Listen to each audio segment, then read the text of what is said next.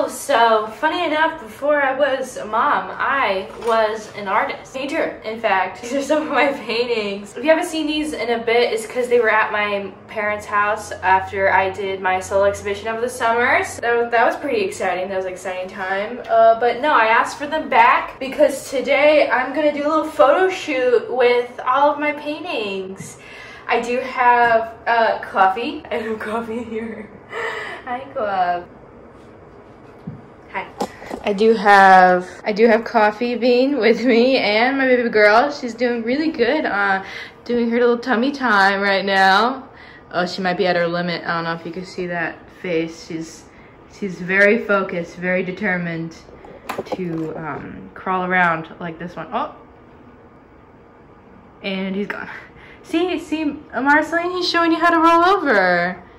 Oh and, being mischievous as well. So funny enough, 2021 and 2022 are really big for my art career, I would say. I did a lot of shows. I, yeah, I showed my paintings off at many different places here in uh, Phoenix, Phoenix, Arizona. The wonderful people from the Phoenix Art Museum have reached out to me and they asked me to do an interview for their emerging artist story. So basically they just have a set of questions that they ask everybody and so I'm gonna answer them and they'll make a little article based off of me and my, my artwork which is really really exciting. I love the Phoenix Art Museum. I grew up going there all the time with my mom and like learning about you know artwork and stuff. It's basically one of like the original places where I got to see some fine art as opposed to, you know, contemporary a really, really contemporary artist like here in Phoenix. So I'm really excited. I'm also very nervous. I, I think this is something to do with, I think I applied to be part of their emerging artists series I think probably two years ago, honestly. I was like really excited to, you know, be a part of this. Now they finally reached back and I'll be doing this interview. One of the parts of the interview that they asked of me was to share some photos of me and what I had seen that some people had done is that they, they showed photos of them in their studio, you know, very like posed, I guess, uh, photos of them in their studio and, you know, with their paintbrushes and their easel. And, you know, I've done photos like that before, but I think the last time I did like a little like at home photo shoot of me in my studio was probably like two years ago, maybe in like 2021. And I think we need an update, uh, especially now that I look a little bit different and now I got this baby, so maybe she can make a little appearance in them as well. I think I'm gonna make this wall my little backdrop because I already have like three of my latest paintings up here and I'm going to add paintings that I had from my solo exhibition that were over at my parents' house and I'm gonna add them up on the wall, put a couple on the easel probably, do some makeup and hair and just like look nice because I'm yeah I'm, I'm really excited about this this interview. I think I've only done like one interview in the past. It was uh I'll, I'll show uh I'll show it right here. Yeah so I think this is gonna be very similar but like a step up you know? Like I think I did that back in like 2019 yeah now it's 2023 and my work has really evolved I've uh, I've done a lot more stuff since 2019. Like that was uh, talk about like emerging artists. Like oh, I just like I really just grew. You know, I've grown so much as an artist. Okay, so what I was doing just now is like putting together these command hook things, and I'm gonna use them to hang up these uh, paintings up on the wall because I am renting this apartment. So what I like to do is get these like metal command hook things and then I get some pliers and then I bend them so that they're at like a right angle. And then I uh, I put at least two parallel to each other up on the the wall and then I hang up the painting. So yeah I'm thinking of the small one putting it down here like so just right here. And then I'll put the really big one right here uh, behind me. And then I have two extra which I might put on the easel. I might have just like leaning up against the wall so it looks like they were, you know, just, it's just really busy. She was getting a little antsy on my lap, so I put her in the swing, surely because I gotta pull out these things so I don't wanna injure her in any way. So I think I'm going to use this interview with the Phoenix Art Museum as a sort of like kicking off point to get me back into painting and doing that whole creative process because yeah, since she was born, I have not painted. I have not picked up a paintbrush. I haven't done anything and I do really miss it.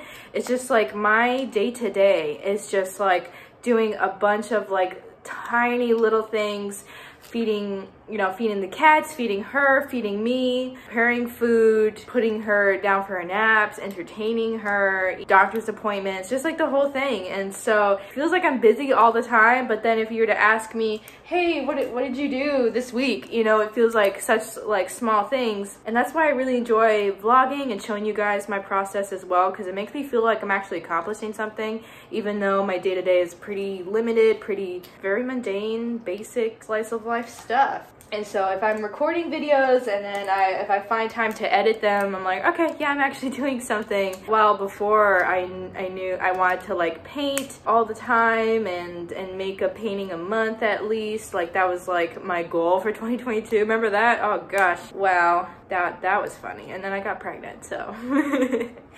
so that's really funny. So yeah, I'm just bending all these so that they're at right angles, so that the, the paintings can hang nice and straight. I'm just gonna bend all of them, even though I'm, I think I have like, what, six of these? Um, I might not need six. I think it's to hang up like three paintings, but just in case,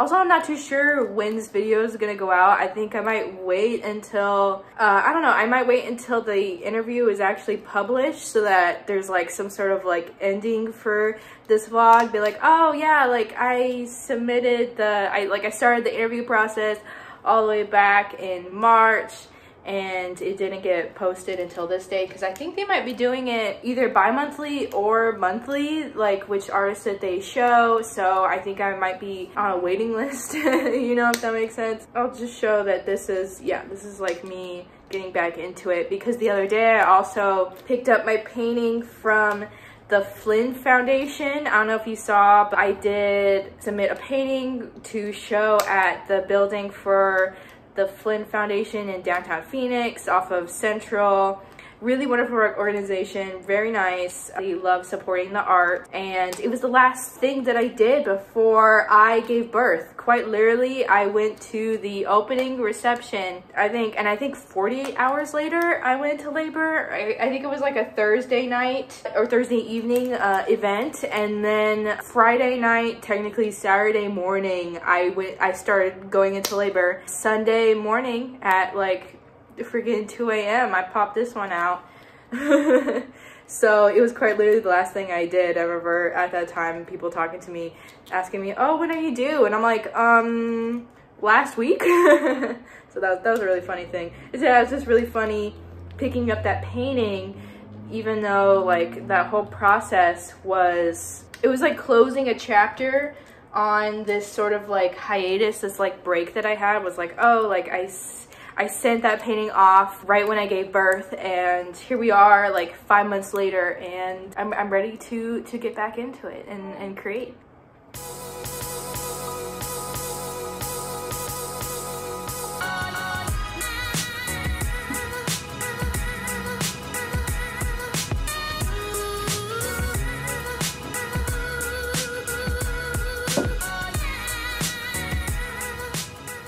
Hey girl.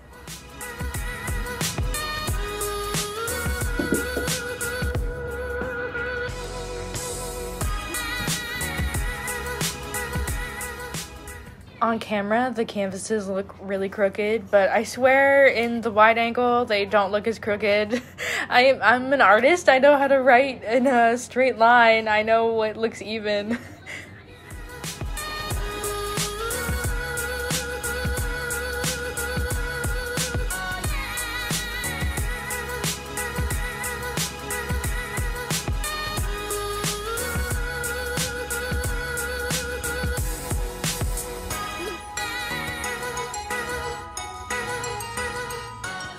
Ta-da! Turns out I needed exactly those amount of hooks. So even if I wanted to hang up these two extra ones, I cannot because I don't have any more hooks to put them up on the wall, but that's fine. But I think it looks really good. Yeah, look how teeny tiny I am next to all this work. Woo.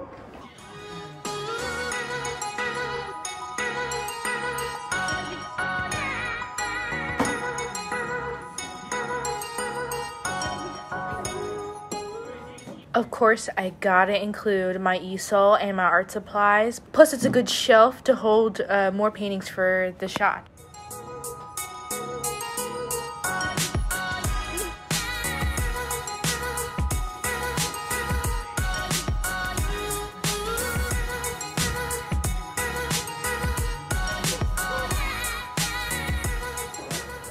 I think this is gonna be my setup for the photo shoot. And I guess the last thing would be to doll myself up and take some photos and probably include my baby girl too. That's gonna be good. I'm excited. First time wearing makeup since like Christmas, at least like full face makeup.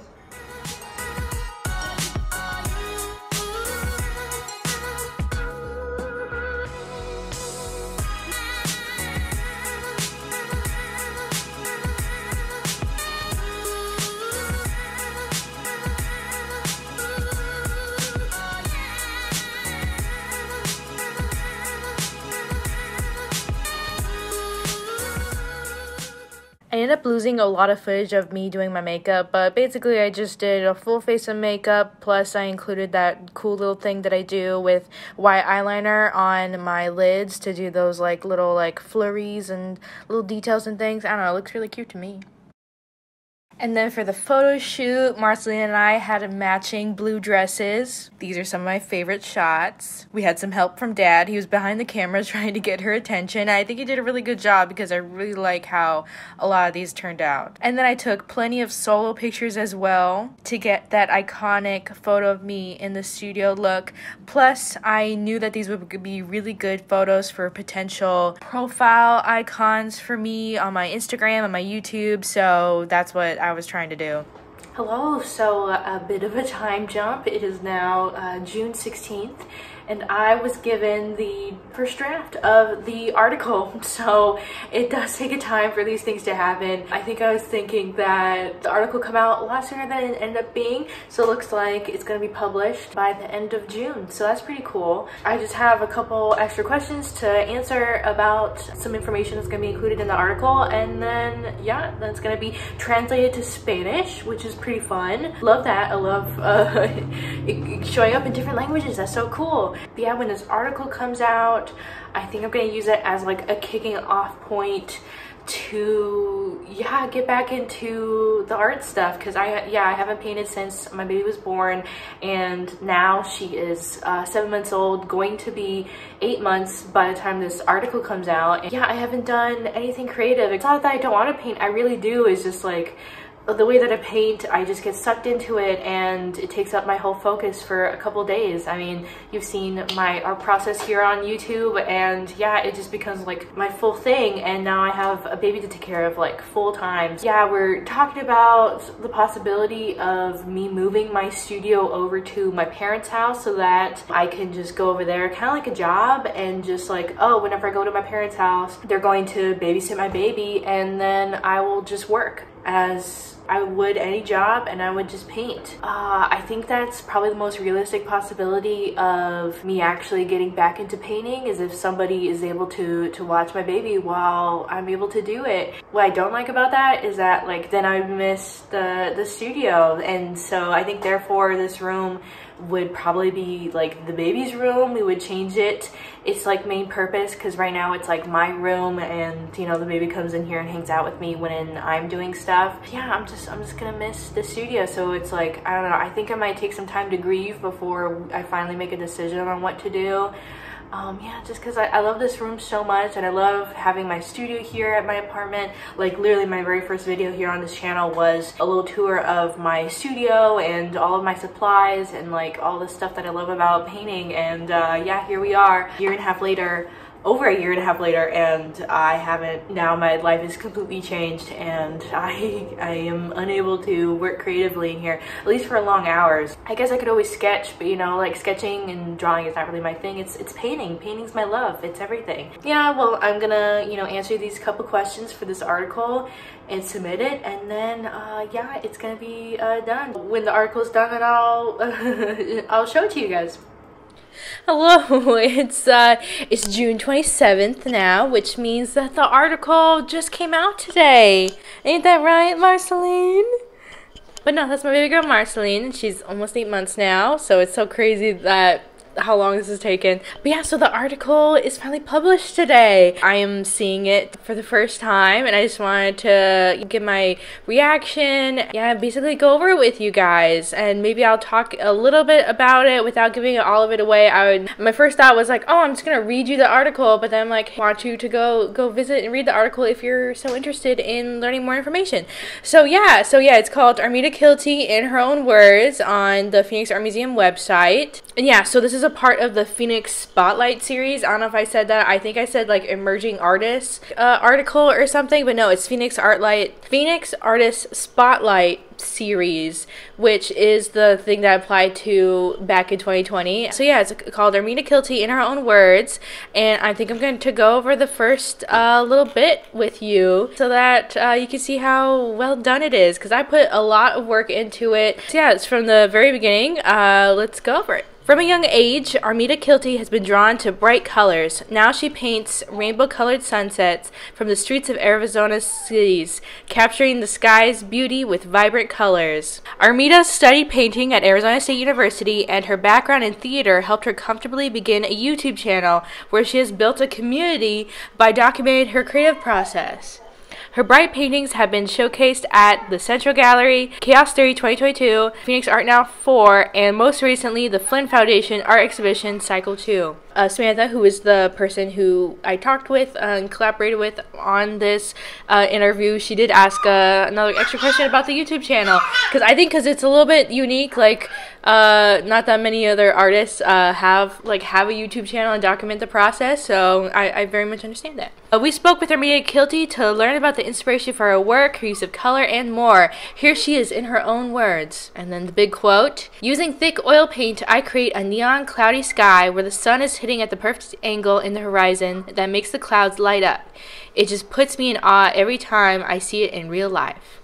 And then they put the photo of me with Marceline right here. Uh, the first photo in the article, but I think the click photo is the, the photo of uh, me uh, just in the studio. I gave him the option. I was like, hey, uh, I you know I, I took pictures with Marceline because we had matching dresses. So so cute. Um, so I, I gave him the option. I was like, okay, well, like if you want, because I do mention um, Marceline a little bit in their review. So I, I gave him the option if they wanted both, and they used ended up using both in the Instagram post and in the article, which is so fun. Uh, Phoenix Art, tell us about who you are and when you knew you wanted to be an artist. Armida Kielty. I was born and raised in Phoenix, Arizona. I have always been inspired by the views that this city gives me. Ever since I was a little girl, I've been drawn to bright colors. I would choose to wear bright colors whenever given the chance. Looking back, I think it stemmed from being limited to what I could wear most days. I had to wear a uniform to school as early as kindergarten.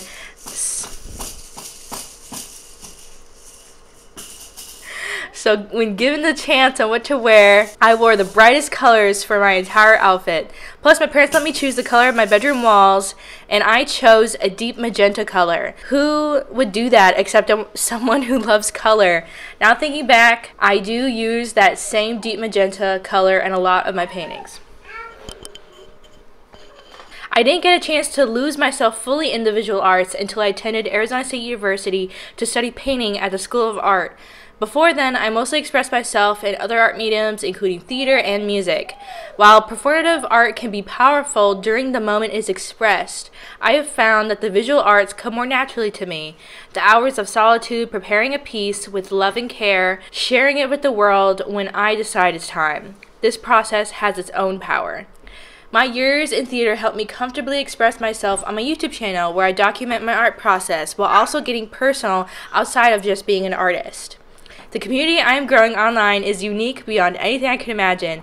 I uploaded my first video in December of 2021 and have already uploaded over 100 videos. Along with being inspired by other creators that document their creative process, I suppose it was the feeling of connecting with others that made me upload that first video. My husband and I had friends leave Arizona that year, so I felt lonely for friendship and wanted to share myself in videos to fill that void. Now that I'm a mom, I just hope my daughter grows up to appreciate her surroundings.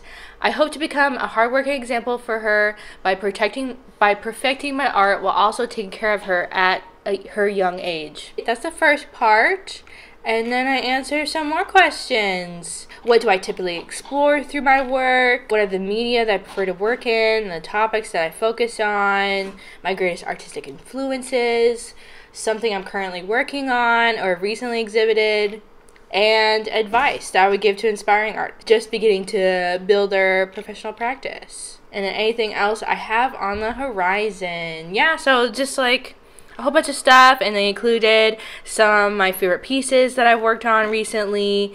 Um, of course, the big, beautiful ones with the most rainbow color. I love these, love these featured. But yeah, so that's my article. I'm so, like, it literally just was uploaded right now. I haven't even, like, told my own family that it's available yet because I've been, I've been talking about this interview for a while and so this is really exciting to finally uh, share that with, with people. Yeah, we made, like, an Instagram post, uh, like, collaborated on on that, which um, I've never I haven't done yet. So that that was pretty cool to see. Just I'm I'm so excited that this is uh available now and yeah just because like of my roots with the phoenix art museum and yeah i'm just so i'm just so excited this is finally uploaded marceline is very excited as well right mama she's having a great old time while i'm talking to you guys about my interview see this is why i hardly ever get anything done. I did say early in this video that I am going to try to use this interview as a sort of kicking off point in my art career.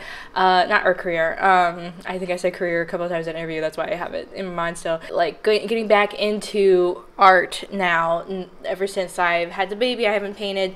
Um, so I think I'm going to work on some stuff now. Now that this article is out, really going to try to do that. And um, my parents are helping me out by um, taking her to their house tomorrow tomorrow. They're gonna come by in the morning and pick her up and give me like a free day, which it, it's I'm so thankful for because I've I've said it in previous videos on my channel that I have not had a day to myself a day alone, just a day to relax. I haven't had that. Yeah, my, my husband is really pushing for me to, to start a painting tomorrow that I'll have, I'll, I'll be alone without the baby. I think because my, my husband my biggest supporter, I think I might listen to him and actually do start something because the article came out today and then tomorrow I get my, my break day. It's like, it's like a sign it's like a little sign that I should start working on something. And I have I have ideas. I have ideas, uh, and I have canvases uh, primed and ready to go. It's just uh, yeah, I just ha haven't had the time.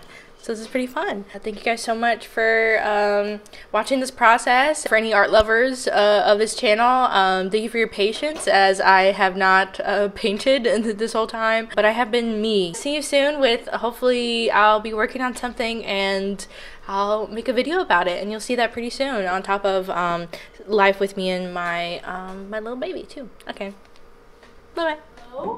And then I think I'll,